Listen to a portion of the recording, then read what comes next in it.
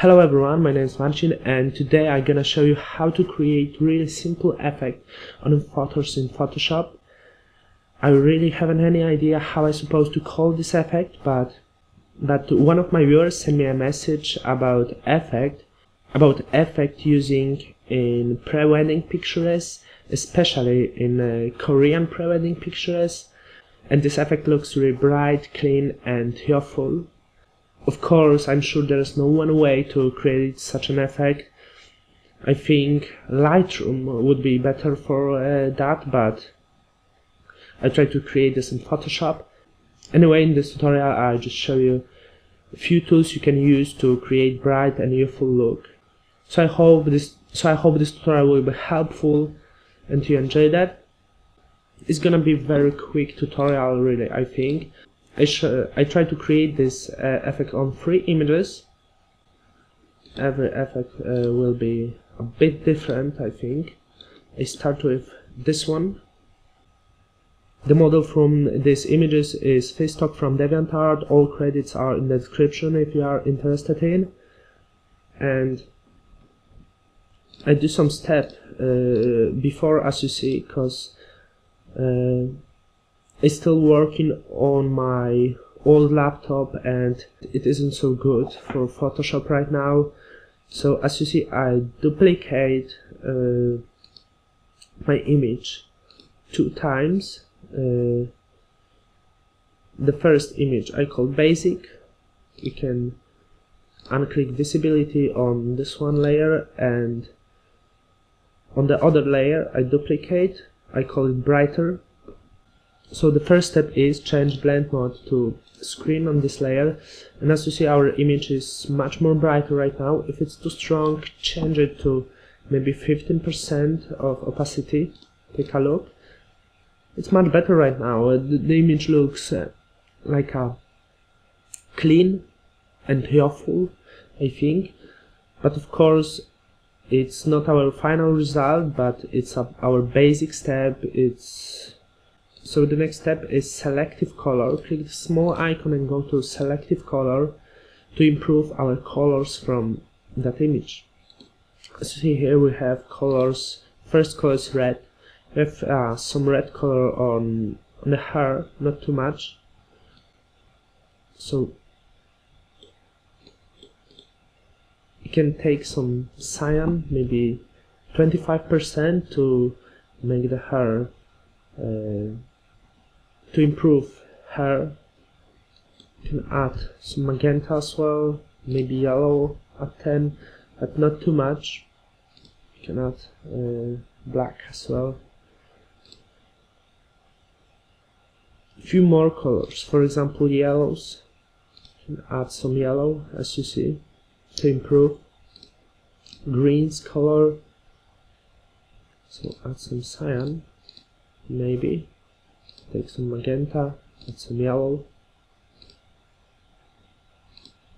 And then I go to whites and I think I add some yellow color on whites uh, to improve this image to add some maybe retro look, who knows? Take some blacks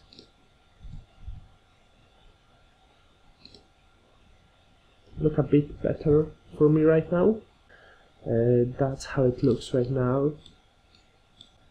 So right now we can uh, use other tool. For example, Curves works really good with uh, this effect, I think. To add some contrast, especially. Take a look, it looks much better right now, and maybe some blue color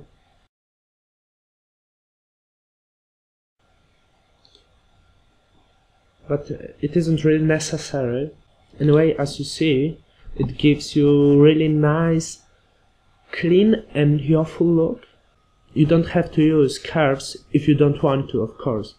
I just think it's an interesting effect. So uh, the other thing you can add is gradient map at the end. In Photoshop CS6 you have nice photographic tuning gradients uh, to load this uh, gradients to Photoshop, click the small icon, go to photographic tuning gradients, and then click append or OK.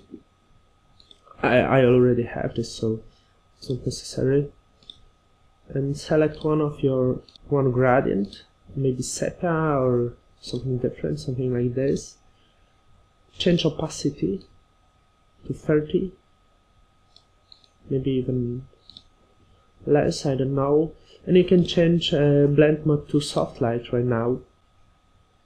And that's our that's our effect. I really think it looks interesting.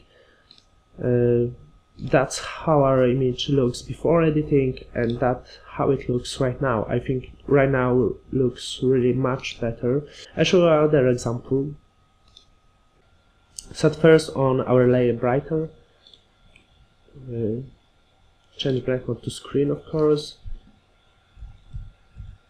Opacity at about 50 then selective color. I start with reds take some cyan. As you see our hair uh, improved right now. Add some magenta yellow as well. Then yellow colors to improve grass and flowers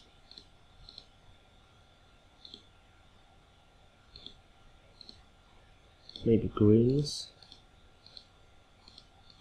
Okay. Then you can add curves of course if you want but it isn't necessary. Maybe this time with red. On the shadow part I take some yellow to make the grass uh, darker and and to improve my grass of course. And on the highlight part light part as actually I add some red to make it uh, brighter. And at the end of course gradient map. Change it to 30% and to soft light. Maybe this one type or this one. So soft effect so whatever you prefer maybe this one. As you see this image looks really clean and awful uh, the colors are really rich. Take a look. That was our basic image and that's how it looks right now. So thank you guys for watching, leave a comment. If you have any question or any opinion, I always try to respond. And see you in the next Photoshop tutorial, thank you.